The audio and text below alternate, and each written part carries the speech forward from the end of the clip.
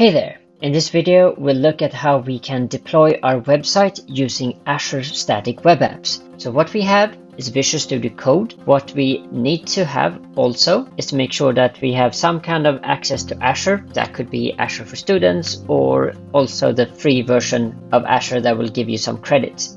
We will also need something called Azure Static Web Apps extension for Visual Studio Code and Visual Studio Code itself. On top of that, we need to make sure that we have a GitHub account and that we are logged on to GitHub.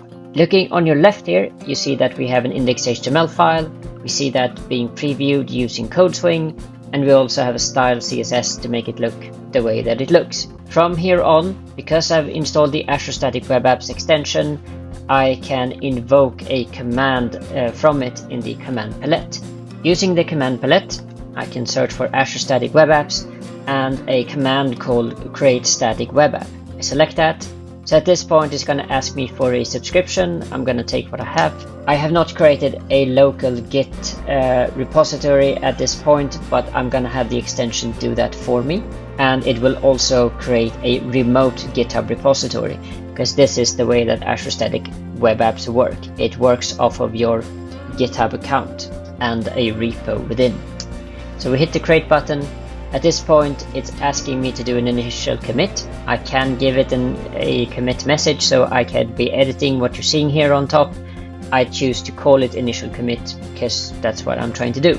At this point, it's asking me for the name of the static web app. You could be calling this my project, for example.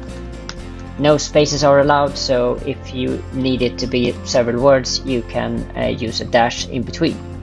I'm calling it my project. Now is the time to uh, enter the name of a GitHub repository. I give it a name and now I need to be selecting a region. Now I've got many presets, meaning if I have a very complicated application, there are a lot of uh, choices made for me if I choose one of these templates.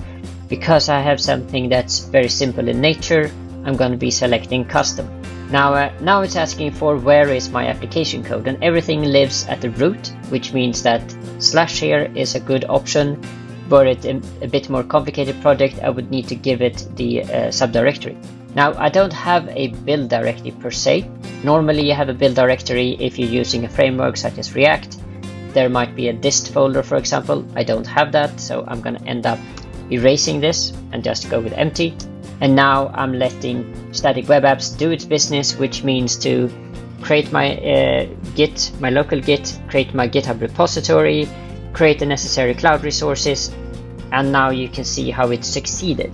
I could either be looking at my actions in GitHub or I could be viewing or editing the workflow. We can also expand this a bit. So we can click to view resource if you've installed Azure Static Web Apps, you see that you have a bunch of apps here uh, under Static Web Apps folder. We can expand this a bit. So under Static Web Apps, you have one of these. Now uh, I have more than one, but here's my project. I can expand and see what's there. I see that there's a production folder, there are actions. Actions are what makes the deployment possible. So now that I deployed the first time, everything is good and it has created that connection with Azure for me. There's also a sense of a workflow and some parameters that might be important if I have a more complex project. Let's say I want to add an API. I don't need to worry about that. I have a simple page at this point, but I do have my action that will make it possible for me to just work within Visual Studio Code and do any changes. Were I to do any changes at this point, and push them to my repo, that would lead to everything being redeployed. So we will look at that shortly. But for now, let's just make sure that we have a website. So if I select browse site, I can make sure that everything has been deployed. And here you can see how my site has been deployed. Uh, it has this URL and that's great. So what I, if I actually want to do something with this, what if I want to change, let's say the name of my project over here. Let's go into our file and at least call it my invention. You might have a more a, better name for your project, but that's what I I'm gonna do. So I'm gonna open up the terminal at this point, and I'm going to do a commit towards my GitHub uh, repo. Because it created a local uh, Git repository for me, if I do git status, I can see that I have done a change. It's indicated here as modified. By me doing git add, I can see that it's now ready to be committed. So I'm going to do that, git commit, change title. Now I'm going to hit git push, which means I'm going to send this off to GitHub and exactly that is happening. So let's uh, have a look and see what's going on uh, just for the sake of, of understanding more. Now here I have my project again. I went into my Azure extension. I'm going to select to open up in GitHub to inspect the repo so we understand high level what's going on. So now we have a sense of a workflow. This is the first time that it connected between my files and, and GitHub. This is what it created and this is what it ran. We can see that it ran successfully. I have this green checkbox. It was able to build and deploy. That's amazing.